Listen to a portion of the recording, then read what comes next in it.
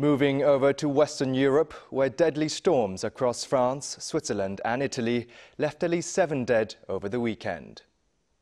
Three people died in northeastern France on Saturday when a falling tree crushed the car they were traveling in amid fierce storms and torrential rain. According to the AFP, a fourth passenger is in critical care. In Switzerland, three people died after torrential rain triggered a landslide in the country's southeast, while another was found dead in a hotel in the Valais region. Police say the victim likely drowned in fast rising floodwater.